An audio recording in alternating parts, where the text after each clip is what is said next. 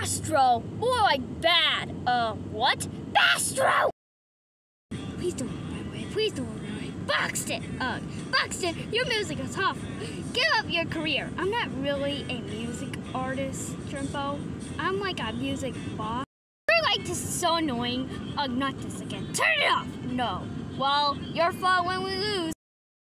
Shrimpo, do you need a hug to turn that frown upside down? I hate hugs. What? I hugs and you. Never mind. Basil, you okay?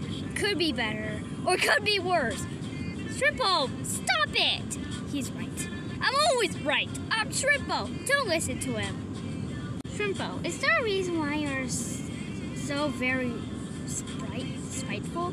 What did you just call me? Er, spiteful? I'm taking offense of that, right? Let's just take an interview away.